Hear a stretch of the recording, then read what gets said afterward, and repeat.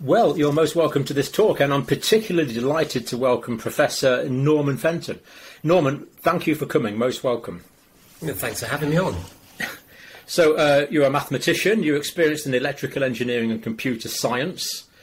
Um, you're actually Professor of Risk Information Management, Queen Mary London University. Is that, is that right? Is that the correct title? Queen Mary University of London, I think, is the correct attribution. Okay. Yeah. I know universities get very particular about these these kind of things. Yeah. Um, you're an expert yeah. in, in, quantitative risk assessment and, and, predicting the probabilities of unknown events. So, um, pretty interesting altogether. Now, one of the reasons that you, have kindly agreed to come on is your recent uh, preprint, which is, is currently uh, being prepared as a full paper. Implications of the Office for National Statistics estimates of COVID 19 vaccine uptake in England on the representativeness of its sample. So there's issues here as regards how accurate the Office for National Statistics uh, sample is. But I actually wanted to go back a bit because I could do with a bit of a refresher and may, maybe some people watching as well. Uh, the, the first thing I wanted to ask you is it important to collect uh, quantitative data to learn about a population group? Because this is what we want to learn about the British people in this situation, don't we? Yeah, yeah, we do. I mean, if, we, if you want to make the strategic decisions that affect a population group, i.e., the kind of decisions that governments make every day, then we have to, you know, we have to have relevant and good quality data about that population. So, I mean, for example, if we believe there's a need to invest in additional public transport systems in a particular area of the country, say, then we need to have data that captures the true transport habits and needs of the population of that area. Now, as we generally don't know everything about everybody, we generally have to rely on sampling a subset of the population. And that's why getting a good you know, getting good sampling data is so important and why sampling and learning from data is such big business now doing that accurately. And of course, there's been notorious uh, cases in the past where people have missampled things and come to, to the wrong conclusion. So we, we, need to assess accurately what the situation is so we can make reasonable decisions. And that was my next question. Why do we need representative samples of population to collect valid data from the population as a whole? Can you just sort, yeah. sort of unpick that a little bit? What is a representative yeah. sample? Yeah. As opposed to the first dozen people you meet? Well, the thing is, yeah, the thing is, we can't generally sample the whole population. And that's the reason why it is so important to get a representative sample. It's because if we don't, well, inevitably introduce biases that can lead to flawed reasoning and poor decision making. So just imagine if we, let's say, own the supermarket chain and we had, let's say, a very large sample of people from whom we wanted to learn about, say, future meat eating, meat eating habits. What if it turned out that the sample included only vegetarians, or was, let's say, very highly biased with vegetarians? You'd get a you would completely misrepresent the majority of view of your customers. But on the other hand, let's suppose you've got, let's say, a massive sample, say 80% of the entire UK population, which would normally be considered God, if you've got 80%, you must have, that must be really representative. But actually, suppose that that 80, that 80% completely excluded all vegetarians, and you wanted to get, you were using it to, let's say, get, um, it, uh, get an understanding of the environmental issues of people, you know, what the environmental issues and views people had, then again, if you try to extrapolate that for the whole population, you'd again be introducing massive biases and, and that would impact your policy decisions. So mm. again, that's it doesn't matter the size of the population, it's, it's about how representative it is in order to get that accuracy you need for truly informed and accurate decision making. And how would this normally be done in, in practical terms? So, if I was commissioning you to do a piece of research, for example, Uh, can you give an example of how you would generate a representative sample of the population? Yes, yeah, so, so, ideally, the, the, sample should be selected based on the features relevant to the questions you want to answer. So, for example, if you wanted to find out which party the country is likely to elect in a, in a forthcoming election, then for a start, you should only sample people eligible to vote. And what's more, the demographics of the people in the sample, that would be, say, the proportion of people in each age group, socioeconomic class, ethnicity, etc., should be similar to the proportions of eligible voters in the country as a whole. Now, the thing is that polling organisations are supposed to do this routinely, and of course, it's a higher value business to do it accurately. And the ultimately, the accuracy is assessed by how well they predicted, and that, for that example, you know, the result of the election. And I can see there's a lot of money and usefulness in this because if you can predict future buying habits or non-buying habits or whatever of a population, yeah. then there's clearly, clearly large commercial interests in that. Um, now, the, the, the sample... Oh, it's massive. it's massive. Yeah, I, I, absolutely, yeah. Um, the sample used by the Office for National Statistics to generate their estimate of COVID vaccine uptake. How did the Office for National Statistics get their sample? And is it a skewed sample? Well, this is kind of like relevant to the, the example I gave of the 80% of the country who are, say, not vegetarians. It's a very large sample, but it is actually a very biased sample. They use the set of people who were both registered as residents of England in the 2011 census and who, were, and, and who were also registered with the GP in England in 2019. So it's a large subset of the England population. It's not the rest of the UK, it's, it's, it's just England. But even as a subset, even as a sample of England, it has that bias because you had to have been in the registered in that census and registered with a GP. Right, so there's two inclusion criteria there. I had to be in the 2011 census and and registered with the GP. Yeah. Both must and be must, correct. Yeah. So we've got a huge yeah. sample, but this could represent bias. So f- obviously, for example, people that are arrived in the country since 2011 um, yeah. aren't going to be included, or, or, people that can't get a GP for whatever reason, for example, if they're homeless or something, yeah. um, that they would not be in that sample. So is it fair to say that this, would we describe that as, is a skewed sample the correct terminology here, Norman? Well, let's just think about it. So at the beginning of you, let's think about who's not in, in sample, as you say. I mean, at the beginning of 2021, in their sample, there were 39 million people. So hmm. that's 39 million people who met their inclusion criteria. But the population of England at that time was estimated to be around 56 million. Now, for a start, of course, it misses out all children under the age of 11 now, since they weren't born in 2011. but as you say, in addition, it, it all of those who failed or refused to be registered with the GP in 2019 are completely missing, as, as are all the people who've come to live in England since 2011.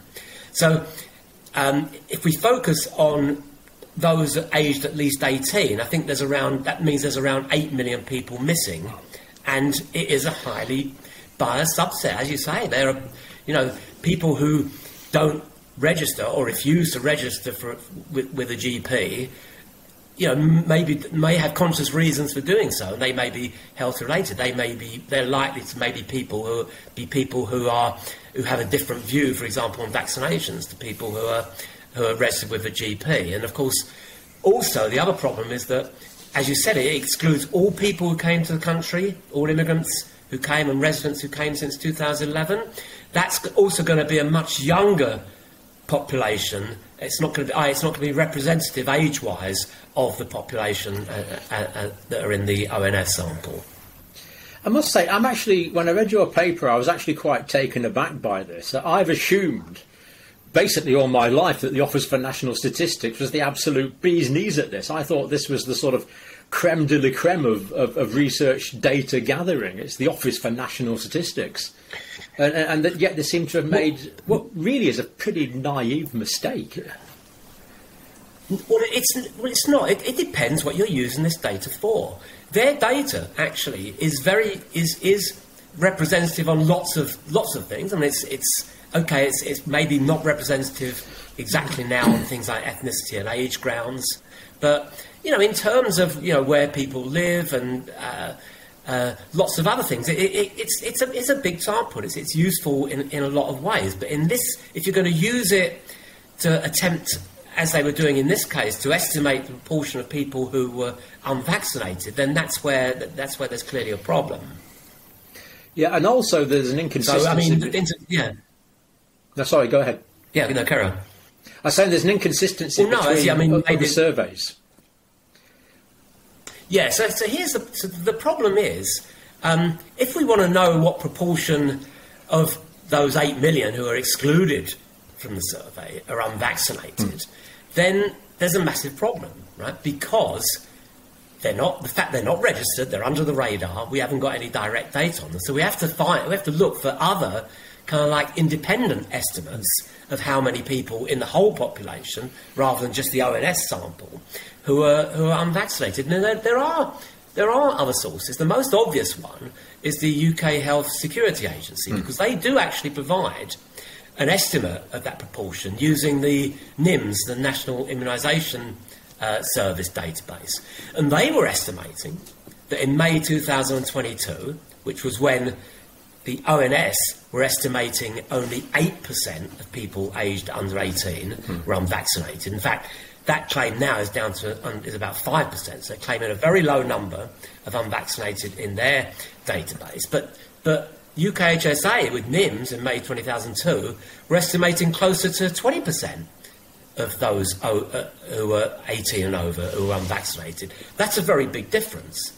Now, they could both, of course, they could both well be correct because that's the whole point. It's a, you're missing out the ONS is missing out this very large number, these 8 million, who are highly unrepresentative. So it turns out that what I did in that paper was use some fairly routine mathematics to estimate what the proportion of the unvaxxed in the 8 million missing was from the ONS data if the 20% estimate in the UKHSA NIMS data was, was correct, 20%. It turns out that those missing from the ONS data the proportion of those unvaccinated would be just under 70%, an enormous proportion. I mean, not, not the 8% claimed, you know, claimed by, for the population as a whole by the ONS. So you've got, a, you know, there's, there's, a, there's a real problem there. That's a, that's a, they may both be correct. Yeah. The problem is there are, there are other reasons, incidentally, not major, but, but, but small reasons also why there, there may be sort of inaccuracies in the, um, in the ONS data. Um, so, for example, um, we have actually documented evidence of people, and I can give references to this, of people who've been recorded as, as vaccinated, even with serial numbers and dates when they were in fact never vaccinated. And we also know that there are several parts of the sort of recording process before the data reaches the ONS where errors can occur. But set that aside, I, I don't. I, I, think that the ONS probably aren't too far away when they say that when they said in May 2020 that there were indeed only 8% of, of, adults unvaccinated. In their survey, that could well have been that could well have been true, but whether that's true of the, as I say, of the whole population, when you add all the others, that's that's clearly not supported by the by the UKHSA data and what we know about all the rest of that population are not in the ONS uh, sample. So I think we can conclude. Um, the question is: Does this mean the sample is not as representative as we would like? Yeah. It, it, see, the thing is, there is also one other key survey that took hmm. place in May 2022. It was. Um, this was a very large representative survey of over 2,600 UK adults, and it was actually conducted by the reputable polling organisation ICM. And it was used, interesting enough, it was used in the BBC doc- documentary called Unvaccinated, which was screened in July. And contrary to the 8% unvaccinated adults, which was claimed by the Office of National Statistics, and also by the BBC in that documentary, the actual proportion saying they were never vaccinated in that sample was actually 26%, even higher again than the UKHSA estimate. Now, here's the thing people might argue that 2,600 is not a big enough sample for an accurate estimate. But it turns out if it's, a, if it's a reasonably representative sample of the population, then using standard statistical analyses, it would mean it would be more or less impossible for there to be less than 20% unvaccinated in the whole adult population. And interesting, if you look in detail at the ICM survey, it's all online, you can see all the raw data in there. You can see that actually it was very representative of the population estimates in terms of uh, age categories, socioeconomic classes, ethnicity factors, and also where people lived in the UK. The only thing, the only thing it was different on, as far as the ONS data, was this you know, 26% unvaccinated compared to 8%. So that does tell you that that maybe was a more representative sample. But I mean, if the um, yeah, so yeah. Quite, quite, quite, a difference. I did check the, the latest UK Health Security Agency is currently 17.5%, but of course that's now October um, 2022, yeah, yeah. and the ONS, as you say, is down to about about 5%. Um, if this sample. And, and incidentally, on those figures, yeah. No, on please, those figures, ahead. incidentally, doing the maths that's in the paper, on those figures, on those assumptions, if you do the maths that's in the paper, you'd still end up with about 70% of the people who are not in the ONS sample being unvaccinated, mm-hmm. the adults in, yeah. in there. So, if this sample is not representative, how does this affect the validity of their data and hence their conclusions? Well, any conclusions that can be drawn from it such as about take up of vaccination, attitudes to it, efficacy and safety. All of those analyses would only be true of the subset that were included. Now, as large as it is, we've seen that is not the whole population. So, what, what it means is you cannot draw conclusions about it for the whole population. You can only draw conclusions about it for that very specific and a subset of the population. So, this in essence means that the Office for National Statistics is assuming that uh, people that are not vaccinated are actually being counted as people that are vaccinated. Is that sort of what it comes down to?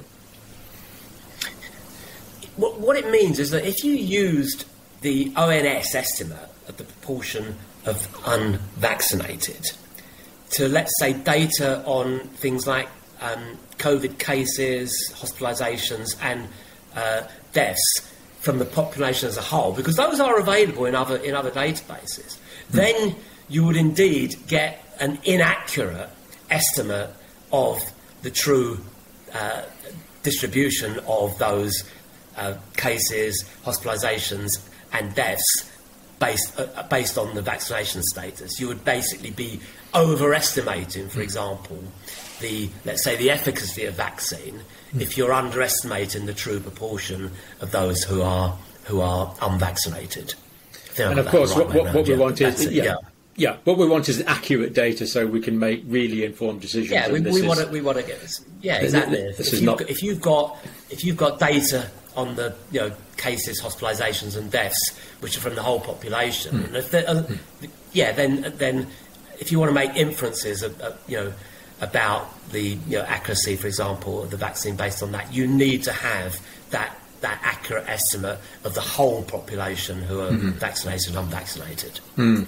Uh, can I ask you a, a, completely unfair question, Norman? You might not um, be able to answer this spontaneously, but if there's we always think that the UK is very good at collecting data, and on the whole, it is. But, yeah. we've identified this really yeah. quite glaring uh, omission.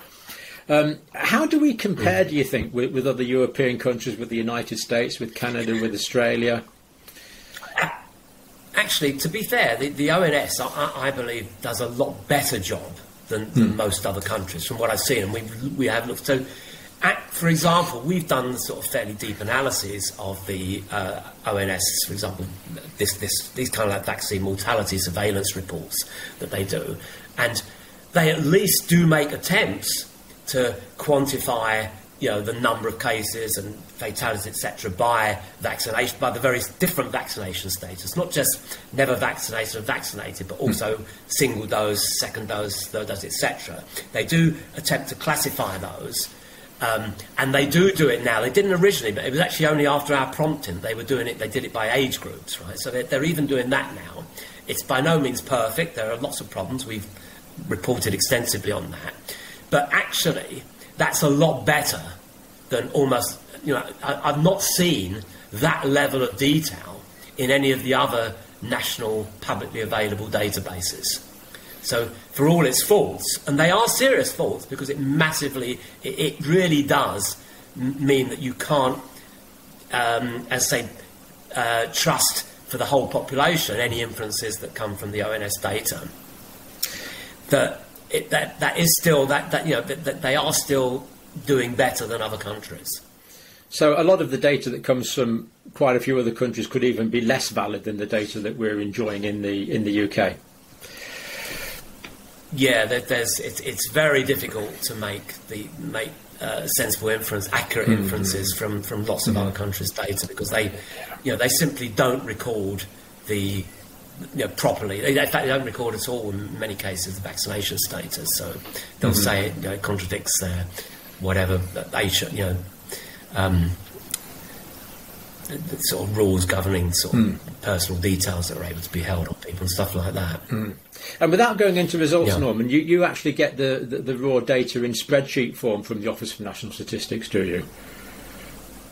Yeah. Well, any, any anyone can actually, because mm. when they um, publish their, their, their, summary reports, there's, there's always a link on their webpage to the to, to, the databases. They're, they're not ideal. I mean, one thing that we not very keen on the moment they're doing they're moving towards these age standardised mortality rates rather than giving the detailed age categories. So they'll give fairly coarse age categories. Like at the moment, uh, to do our latest analysis um, of the most recent months, there, you can only get age data on categories from sort of 18 to 39, then then 40 to 49, and um, that's okay. But you'd prefer to have it in sort of five-year groupings to avoid kind of like confounding of age, because otherwise mm. you have to rely on their um, this age standardised mortality metric for, get, for, for taking away all that age confounding. And um, we're not, not really not really too pleased that, that, that that's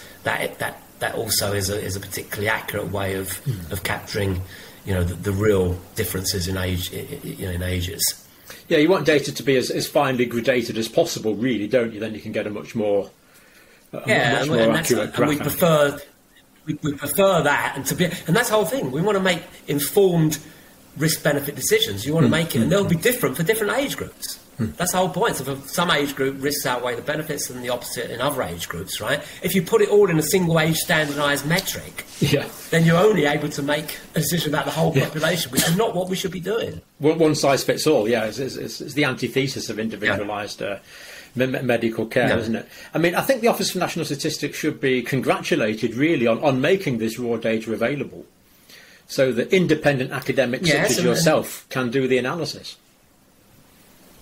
Yeah, and, and, and then they also tend to be quite quite helpful. They've, they've, they've provided additional data, you know, where we've asked for it. They, they've responded um, in an informed way to, to the, you know, the questions that we've asked. So because you know, there were some ambiguities in data, and they've, they've clarified those for us and enabled us to sort of improve the analyses that we do. Mm. No, I think it's brilliant. Independent, independent, essentially peer review of the national data. So, so, so independent, if independent academics are coming to the same conclusion as the ONS, then that makes it more likely to be correct. If, if there's if there's conflicts or tensions between the two, then we need, clearly need to look at that and, and things probably need to be refined. Yeah, that's where we know that there are issues in the data. Yeah, yeah, yeah. yeah that's where we know yeah. there'll be issues that where the data isn't correct. Yeah, yeah. And I'm delighted there are yeah. highly quantitative people like you because I uh, I would struggle with that. So it's. Uh, it's great. It's great that you're doing that. Yeah. Anything from the recent paper that you want, want to uh, the full write-up, Norman, that you think we should, uh, without going into results, the things that you think we should, uh, anything else we should know about? Yes, it's because we're specifically looking at the um, the differences in, in mortality between the vaccinated and, and unvaccinated. Mm. And what we're seeing, what we're finding is that errors in categorization very much biased the results in 2021 on those. And as we're moving into the more recent months, we're seeing those errors of categorization um, not so prominent, and, and, and, as a result, we're seeing quite different different results in the comparison between the unvaccinated and the vaccinated. Without going mm. into mm-hmm. too much detail, we'll, we'll, be publishing it hopefully this week. Looking forward to it. Yeah. Now, clear, clearly, we're not we're not saying that vaccines are increasing mortality. We are not saying that. If someone's been vaccinated or someone's not been vaccinated, every human being who is alive. Uh, any day ha- has a risk of death. So it's inevitable that people are are going to die, but it's also it's also useful to, to analyse that data. So we're not saying anything about the uh, validity or the uh, risk benefit analysis of vaccines. We're just pointing out that there's interesting things in this data that uh, that I'm delighted you're going to carry on analysing. Uh, Professor Fenton, that is excellent. Thank you very much for your time. Uh, fascinating video, very useful for me personally, and I'm sure many people will find that interesting and and indeed beneficial. Thank you so much for coming on. I hope so, and thanks for giving me the time to talk about yeah. it. Thank you, Norman. Thank you.